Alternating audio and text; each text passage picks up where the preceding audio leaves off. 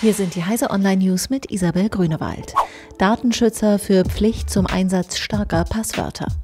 Anlässlich einer Sondersitzung des Innenausschusses des Bundestags hat der frisch gebackene Bundesdatenschutzbeauftragte Ulrich Kelber gefordert, Konsequenzen aus dem Datenklau bei Politikern und Prominenten zu ziehen.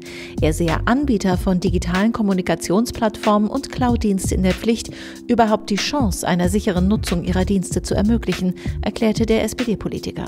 Dazu bedürfe es etwa verpflichtender Vorgaben, ausschließlich starke Passwörter zu verwenden. Alphabet-Führung wegen Vertuschung sexueller Belästigungen verklagt. Der Verwaltungsrat des Google-Mutterkonzerns Alphabet ist wegen seines Umgangs mit sexueller Belästigung im Unternehmen und mit einem Datenleck von Aktionären verklagt worden. Dem Online-Riesen wird eine Kultur der Verheimlichung vorgeworfen. Im Oktober hatte ein Bericht den Konzern erschüttert, laut dem Google schützend die Hand über Führungskräfte hielt, denen sexuelle Belästigung oder Nötigung vorgeworfen wurde. Die nun eingereichte Klage beschuldigt den Verwaltungsrat, eine direkte Rolle bei diesen Vertuschungen gespielt zu haben. Virtueller Außenspiegel erstmals in Audi Serienfahrzeug. Wenn ein Hersteller wie Audi seinen ersten voll elektrischen SUV e-tron auf die Straße bringt, darf es an technischen Gadgets nicht fehlen. Die virtuellen Außenspiegel, die nun erstmals bei einem Serienfahrzeug zum Einsatz kommen, sind jedoch mehr als eine Spielerei und tragen sogar zur Verkehrssicherheit bei.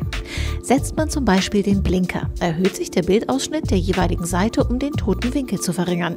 Fährt der e-tron rückwärts, schwenkt die Ansicht auf den Bordsteinbereich, um das Rangieren und Einparken zu erleichtern. Österreichische Post beendet Verkauf politischer Einstellungen.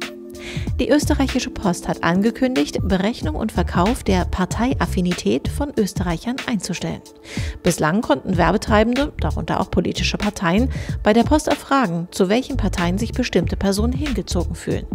Nun soll die gesamte Datenbank gelöscht, die Datensammlung optimiert und neu aufgesetzt werden, berichtet der ORF. Diese und alle weiteren aktuellen Nachrichten und alle Neuigkeiten von der CES finden Sie auf heise.de.